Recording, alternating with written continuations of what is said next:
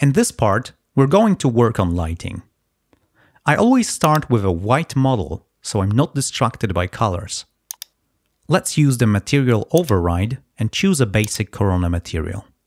It's really important to exclude all the main things made of glass or another transparent or semi-transparent material which can significantly influence the image. In our case, it will be the window.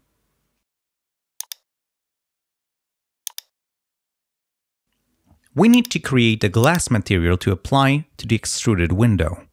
Please create the basic V-Ray material. Set the diffuse color for black and set the reflection and refraction color to 252.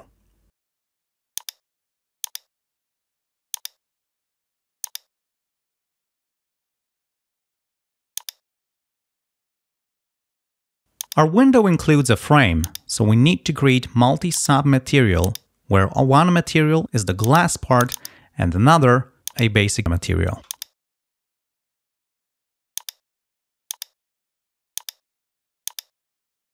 And now apply the material to the model.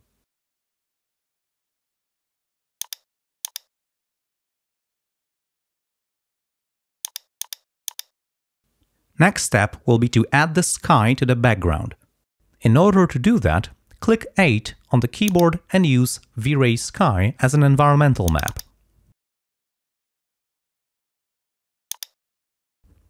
In the render setup, choose IPR Options panel and click Start IPR.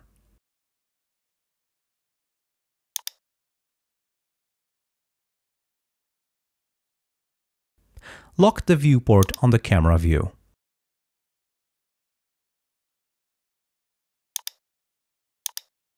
Go to the camera rollout and check Auto Exposure and Auto White Balance options. This will automatically adjust these settings for us.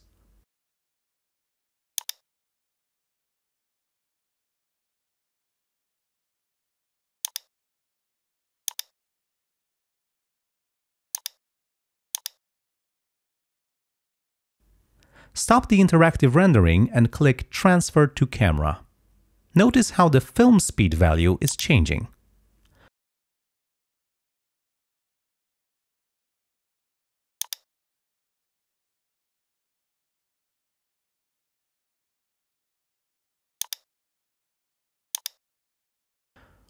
Open the Globals panel and adjust the Highlight Burn option to remove burned areas.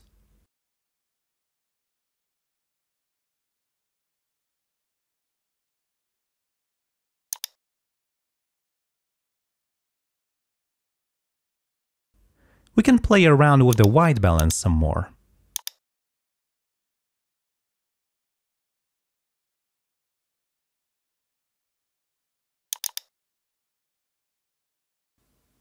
The image looks flat now. There is no depth. For comparison, I'm showing you two images with textures. One which is my final, and another with the lighting from this stage. Can you see the difference? For sure. The first one is sharp, has a strong contrast, looks interesting. The one on the right hand side is flat. There is nothing exciting here. So in order to create an image with character, we need to use some tricks.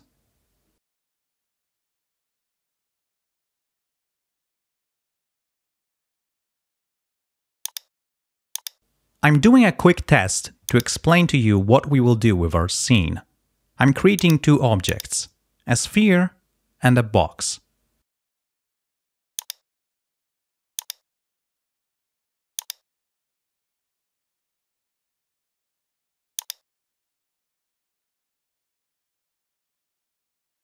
Let's do one basic material and one with black diffuse.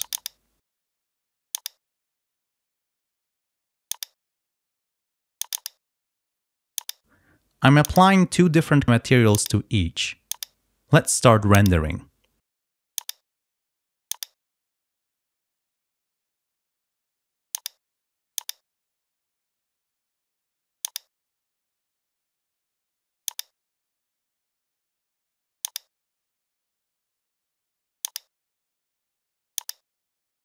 Turn off the material override so we can see proper materials.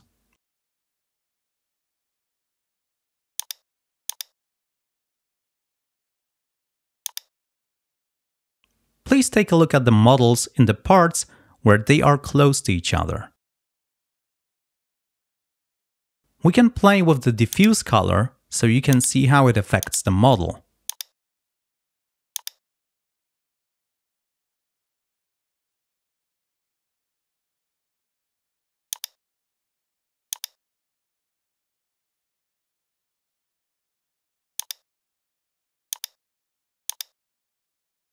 You can see that when the object has a black color, the shadows are much stronger than when it's white.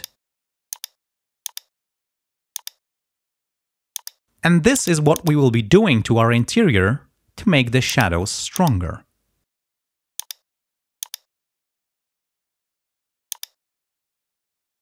Firstly, let's create a big plane which will imitate the ground and make the scene look more realistic. Apply a gray material to the plane.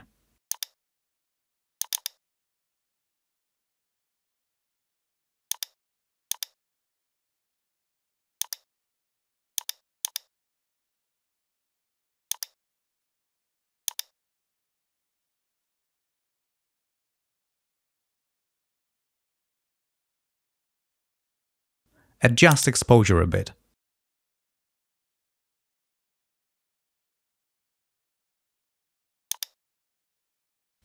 Create a large-sized box and place it.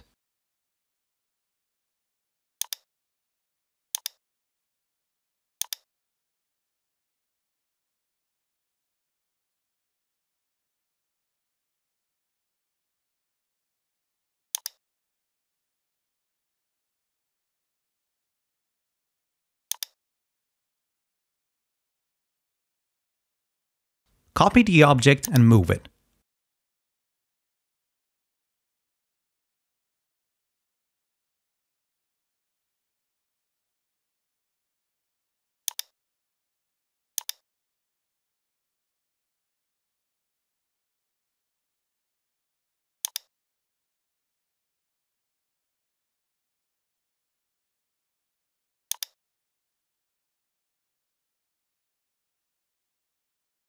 Adjust exposure a bit.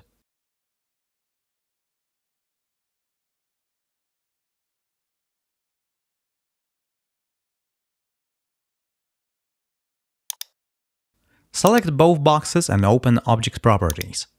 Uncheck Visible to the camera and Visible to reflection refraction options. So you cannot see the boxes behind the window and in the reflection of the window glass.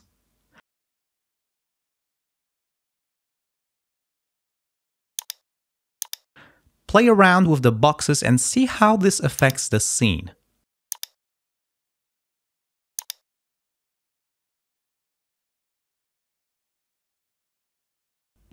The window area becomes a bit burned. Adjust the Highlight Burn option again.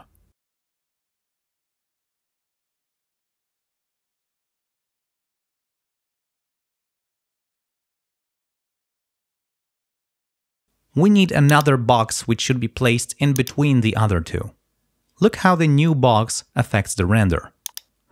Because we are blocking the environmental light, our interior is getting darker.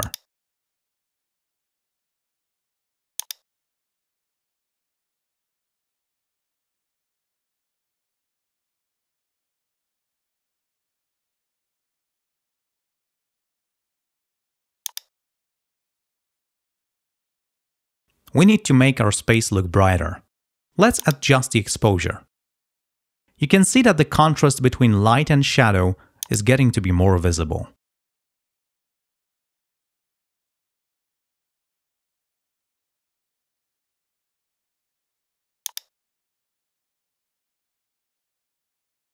You can control the height of the boxes as well.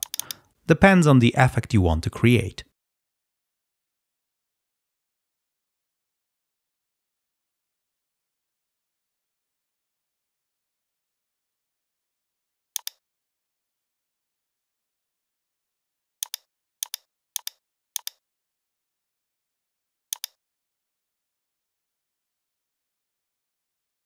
Let's add newly created boxes to the excluded objects.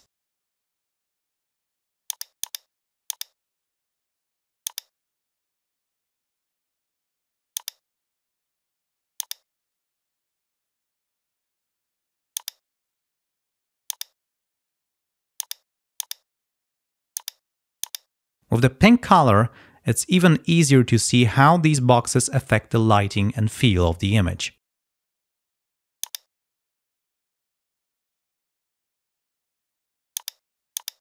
Create a new material and apply to the boxes.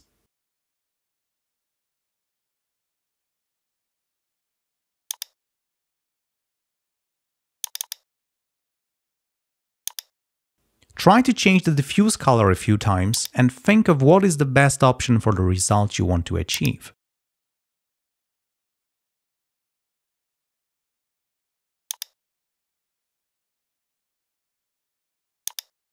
I think we can start with a darker color and increase the exposure value straight away.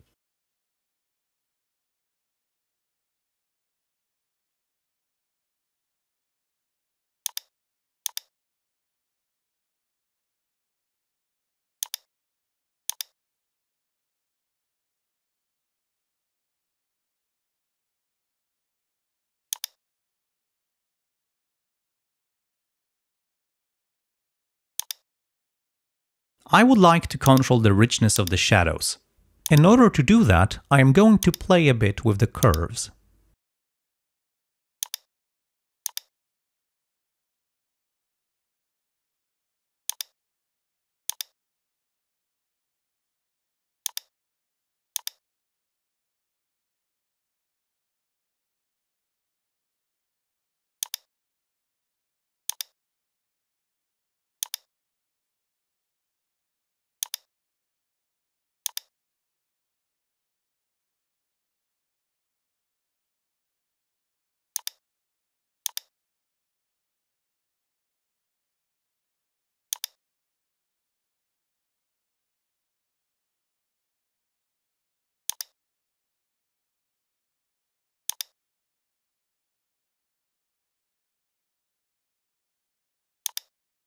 To make the calculation of light even faster, you can use the light portals.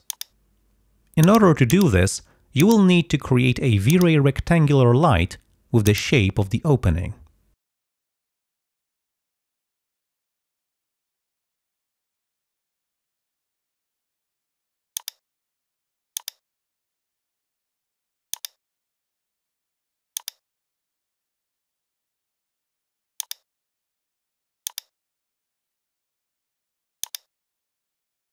Select the Skylight Portal option.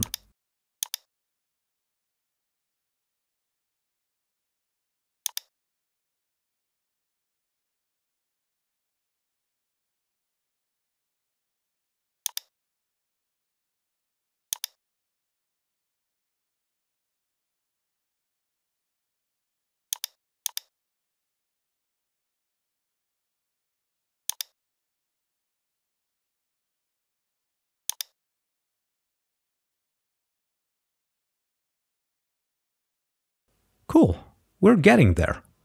We're starting to have nice contrast between light and shadow.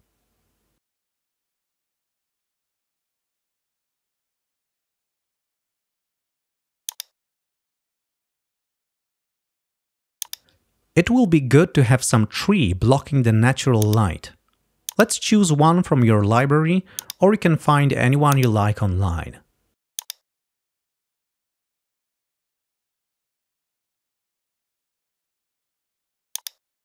As you choose a tree, test its position a bit and try to find the best spot.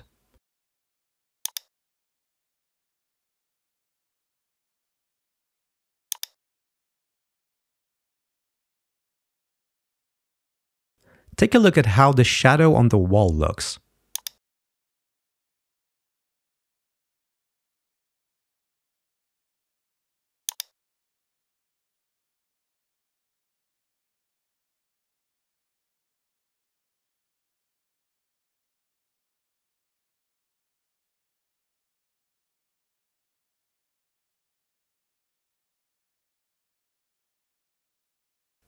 Move or copy the trees to be visible behind the window.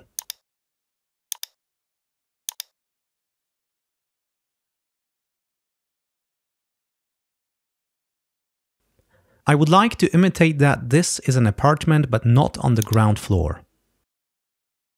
In order to do this, we can move the trees and the base plane down.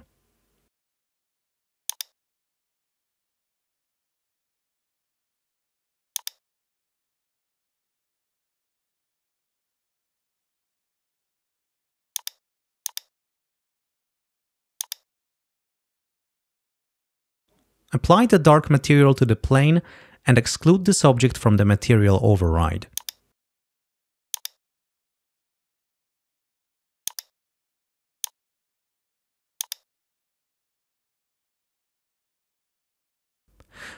We forgot to turn off auto exposure and auto white balance. Let's do this now.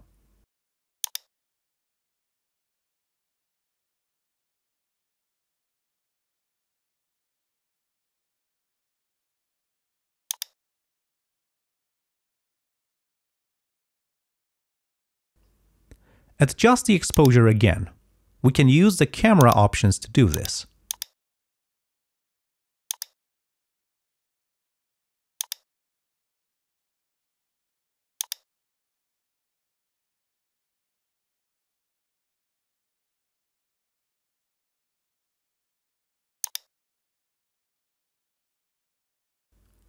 We can make more adjustments to the white balance too.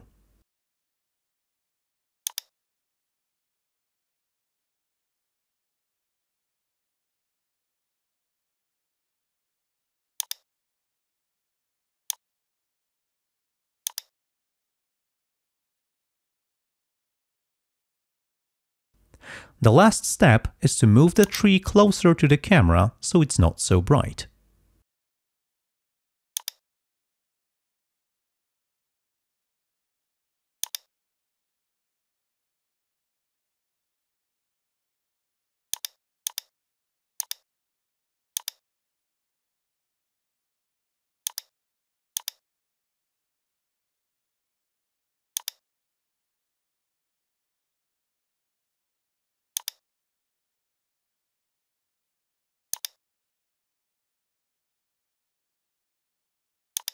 It looks good to me. That's it. I'll see you in the next video.